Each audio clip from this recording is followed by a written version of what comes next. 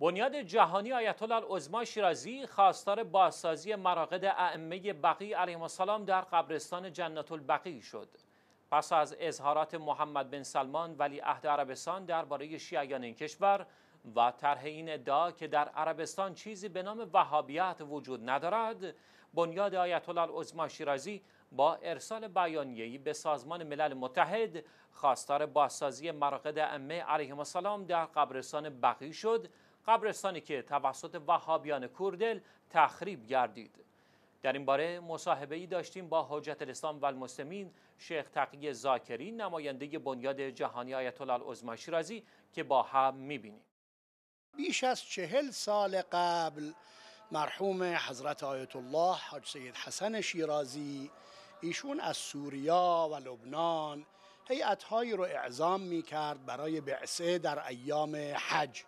این هیئت نمایندگی تا اون موقع هیچ کدوم از مراجع شیعه چنین فکری رو نداشتن یا چنین اقدامی رو انجام نداده بودند علتش هم این بود که چون خاندان مرجعیت شریف شیرازی در کشورهای خلیج پیرو دارن اینها اثر گذاشت و در منطقه عربستان و سعودی شیعیان اونجا همت کردند که در نتیجه این هیئت ها که از سوریا عازم می‌شد برای مدینه و مکه موضوع ساخت و ساز بقیع را دنبال کردن بعضی واسطه های کویتی هم در جریان بودند که الان از دنیا رفتن اغلبشون.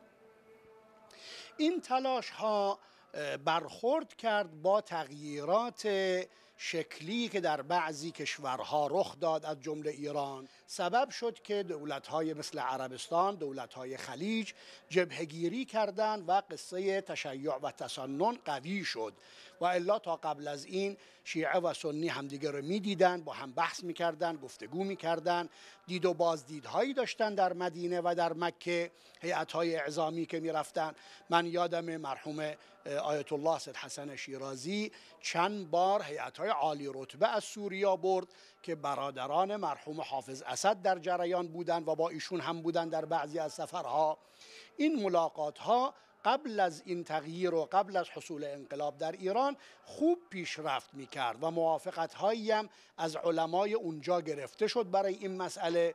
اما این حوادثی که پیش آمد سبب شد که کشورهای خلیجی جبهگیری بکنن و چون جبهگیری کردن کار خیلی کند شد. به خصوص اینکه بعضی از جهت دلشون می‌خواست که این کار بزرگ را یعنی تعمیر بقیع را می‌خواستن که جبهه وجهه سیاسی بهش بدن. دلشون می‌خواست که در واقع بگن که فلان کشور خلاصه شیعه این کار را کرده که در نتیجه جبهه گیری طرف مقابل هم انجام شد. الان ما احساس می‌کنیم و دنبال می‌کنیم اوضاع را. می‌بینیم که در منطقه در کشور عربستان سعودی تغییرات زیادی قراره که اتفاق بیفته. آزادی های زیادی الان شروع شده بهشون داده شده. مثلا حرکت های لایک سازمان ها احزاب لایک و جهت هایی که اصلا با دین مخالفت کلی دارن اینها دارن اجازه می‌گیرن در عربستان فعالیت بکنن فعال بشن و این یه فرصت خوبیه که ما هم بیایم از موقعیت استقلالیت خودمون. چون خاندان شیرازی یک مرجعیت مستقلن. آبستن هیچ کشوری نیستند از هیچ دولتی کمک نمی‌گیرند و این به همه کشورها ثابت شده. در نتیجه آمدیم با این استقلالیتی که همه می‌دانند آمدیم دوباره این مسئله رو مطرح کردیم که اگر ممکن باشه دور از قضایای سیاسی دور از گفتگوهای سیاسی دور از روزنامه ها و مجلات و امثال اینها بیا بیا همچین کار بزرگی رو دوباره از سر بگیریم.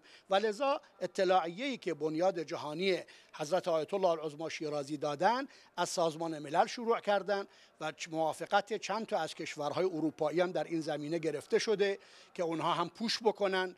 و حل بدن قضیه رو و صحبت بکنن با طرفین و گمان می‌کنم نتایج خوبی به دست میاد. حالا دولت عربستان هر برنامه که داشته باشه برای ما فرقی نمی‌کنه.